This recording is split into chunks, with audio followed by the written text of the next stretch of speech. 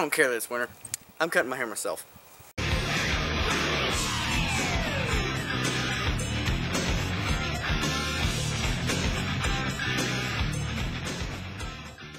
Hey, it's Target Shooter 145 and welcome back. Today we're going to be doing the part 2 to how my Crosman 760 has been holding up. I've had this thing for two years and if you want to watch part 1 I'll put a link right up here so you can click on that and watch it. And if you're watching on a mobile device go ahead and click the link in the description.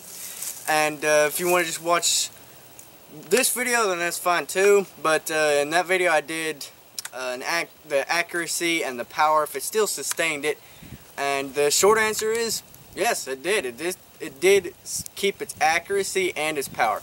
But uh, in this video, why I'm making a part two, is any cosmetic things that happen to it. Or, you know, internal, the mechanical things to it. Anything that's messed up over the past couple of years. And to be honest, this this is not normal, what I've put this thing through. Because I respect Crosman and I love that all of their guns have re some reliability to them. Not all of them have the greatest accuracy because they're usually just meant for target shooting, like this one. Uh, this one's just rated for uh, plinking, but they do have the reliability there. And this is not normal like everyday shooting. I have put this thing through some rigorous stuff, like uh, I did a tor torture test on this thing about a year ago, and I did this, this, and this. It's more like what you would do on a real gun. So none of it has been really regularly. And I'm just going to show you if, you know, I mean, there is some things to it that uh, make it, you know, you could tell if it was brand new if I tried to sell it to somebody. But I love this thing. I couldn't sell it to anybody. Um, for the most part, it's pretty nice. I mean, the only thing that I've found wrong with it is that uh, sometimes you'll be shooting and through a certain cycle, I haven't really paid attention to it enough to really figure out the uh, the pattern it does this in. But you'll have to, uh, sometimes I can't put it back on uh, safe, like I can't uh, the cross bolt. Here, there it is. it won't do it and then you have to pull it back to the first click on the bolt and then push it back. That's a minor issue. I mean, it's not that big of to deal with. I'm not sure when it started doing that. It just started doing that. And as you can tell by one of the clips from the torture test, um, there's a reason why some things rattle in it. I mean, it's nothing important, but it, it's something to do with the trigger, I believe. you can hear it's it's like a little metal piece. I don't know what came loose, and I'm too afraid to take this thing apart to mess it up. So I think I'll just keep it where it is now. And let's see what else. Nothing else really. I, I mean, there's no real noticeable dings on it. I mean, there's some scratches on the stock. I'm not sure how well this will show up on camera some scratches on the stock and you're probably wondering where that came from. It actually didn't occur during the torture test when I threw it about 50 feet. What actually happened was, uh, here I'll show you a clip.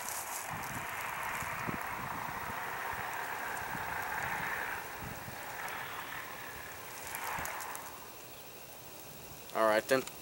Okay, back to the topic here. Ignoring that. Ignoring it. I'll show you a clip right here of what I did to this and you've probably seen me shoot some glass bottles out here before and I'll show you this clip right here. And what I did in that clip, if you couldn't tell, was I still had some glass bottles hanging up on the my stand. They weren't really hanging, they were just kind of sitting there, but they didn't fall off. What else? I was out of pellets. You use a stock when you're out of pellets. And this thing is made out of a synthetic plastic they use them a lot on a lot of guns nowadays. They're not wood, it's not metal. It's got metal internals. But, uh, yeah, that's basically it. This thing is dirtied up a bit. I haven't really cleaned it in a while. So, oh, there's one more thing.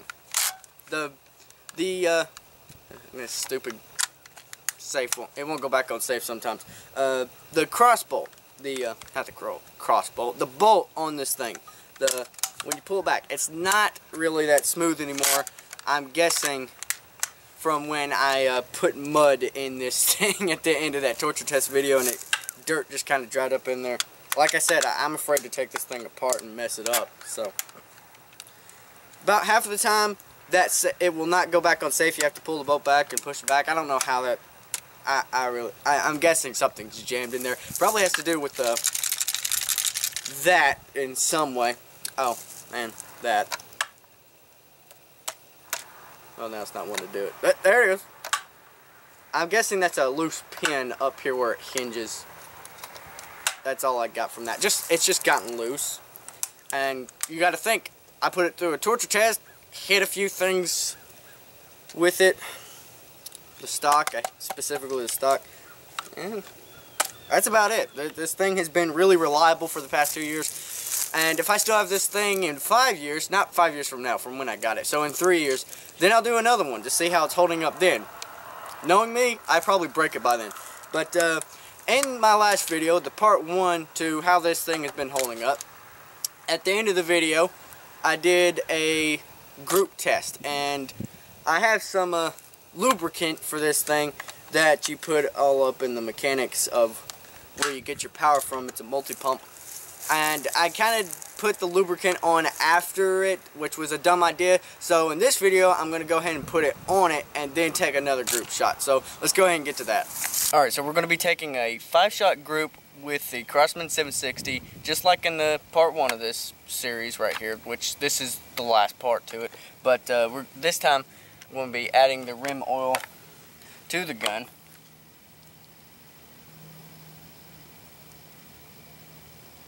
Make sure to get it on the joint of the rifle. And then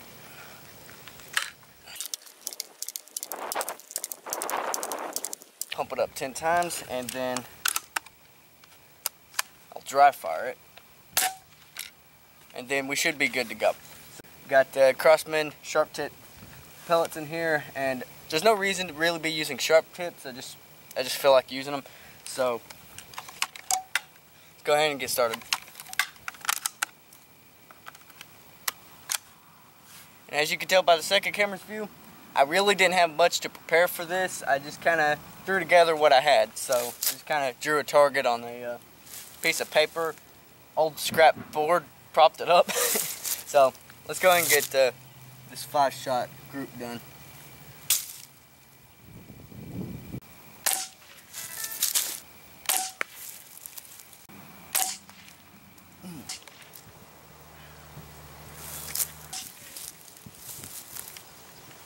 I forgot to mention it, but we're we're at uh, 21 feet. It's the uh, recommended range for uh, grouping a uh, pistol, a firearm pistol, and I decided to bring it a bit closer to my last video because uh, just to make sure that all of them get in that and you get an idea of it. And I'm not sure if you could tell, but uh, I didn't know how hard that board was. Like I said, it was scrap, and those pellets were flying back on me. One of them hit me on the hand. Didn't, you know, hurt me really that bad. Well, it did when it hit me. And after the third shot, I went and grabbed my safety glasses because I forgot to get them. Always wear safety glasses because I always have ricochets. You will always have ricochets. Thought this thing would be good enough to get stuck in them. Apparently not. So I'm gonna go. I think it's about a three inch group. I really didn't measure. I just eyeballed it. But uh, basically, I think this thing holds up pretty good after two years after two years. Not sure about five. We'll see that later. But I want to thank you guys for watching. Always wear safety glasses because uh, one of those kind of hit me up in the shoulder. That's too close to my face for comfort. One of them, the second shot is when it first ricocheted. Hit me in the leg. Second one hit me up here. And the next one, I can't remember when the third one hit me. I was like, okay, that's too close. That is way too close. Went in, got my safety glasses, came back out, shot the last two shots you can probably tell that I moved or something uh, through the clip. But uh, I'm rambling here. But uh, thank you very much for watching. I hope to see you on my next video. And uh, I'd like if you go and get ahead and give this video a thumbs up. I'd appreciate it a lot. And hit that subscribe button if you haven't already. And make sure to share the video if you have anyone that uh, may be interested in seeing how well this is uh, holding up. So thank you very much for watching, and I'll see you next time.